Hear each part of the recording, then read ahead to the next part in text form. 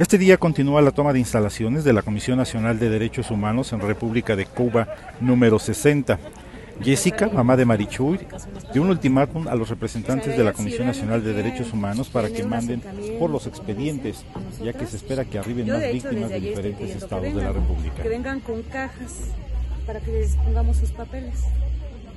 Porque yo los voy a sacar, los voy a poner aquí en mesas para que se los lleven. Y si se los vuela el aire o pasa algo, ya no me hago responsable. Está diciendo que vengan por sus papeles, porque a nosotros nos estorban, porque como de entrada ni siquiera están trabajando, y nos estorban porque tenemos muchas familias y varias ya vienen en camino. Este grupo de activistas seguirán intensificando sus movilizaciones, no descartan la posibilidad de tomar otros edificios, mientras tanto permanecen así a las afueras de este recinto, organizando las despensas y esperando que lleguen más integrantes. Para Capital Media informó Juan Manuel Padilla.